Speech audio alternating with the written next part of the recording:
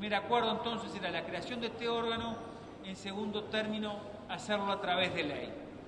En tercer término, establecer un objetivo a mediano plazo de que ese órgano, desconcentrado a través de la ley, iba eventualmente a ser, iba a tener la forma de servicio descentralizado en el mediano plazo.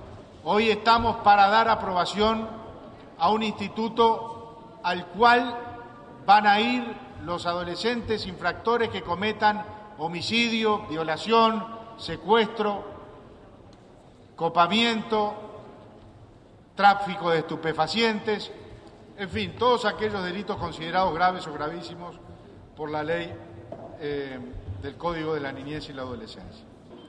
Es la mejor fórmula para lograr la, la eficiencia en la rehabilitación y en la contención de los menores. Al, al decir de Justino Jiménez de Arecha, la eficiencia es un imperativo de la actividad estatal.